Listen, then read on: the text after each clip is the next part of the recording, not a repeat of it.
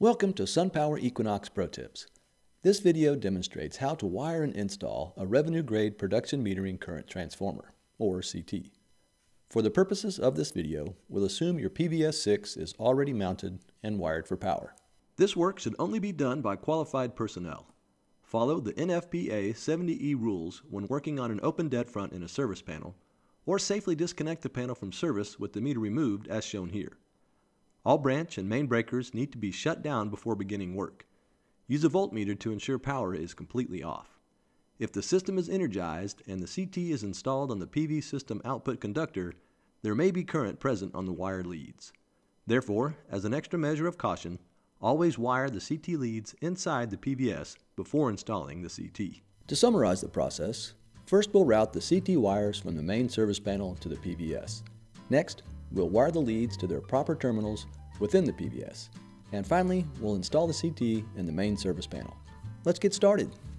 The tools and materials you will need include a wire pulling fish tape, electrical tape, insulated wire strippers, a Torx screwdriver calibrated between 4.4 and 5.3 inch pounds, and the SunPower Revenue Grade Production Metering CT, which has one smooth side and one engraved side.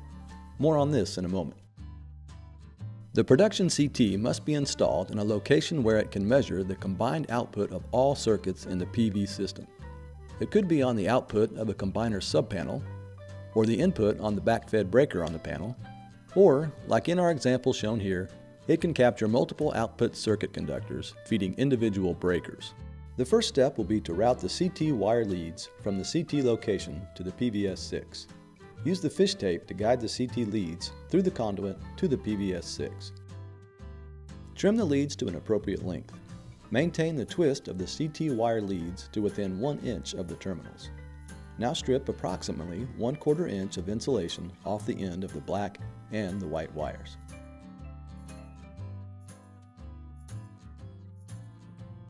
Find the prod terminal in the PVS-6.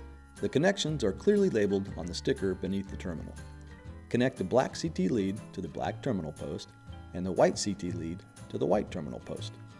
Make sure that all strands of wire are in the terminal and that no wire insulation blocks the contact between the terminal and the bare wire. With your Torx screwdriver, tighten the screws to within 4.4 to 5.3 inch pounds.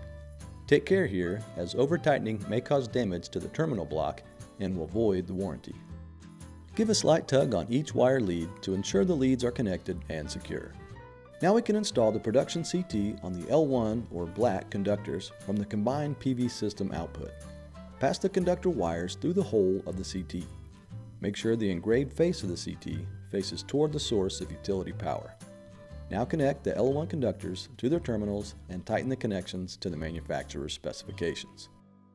And that's it. Thanks for watching this training video.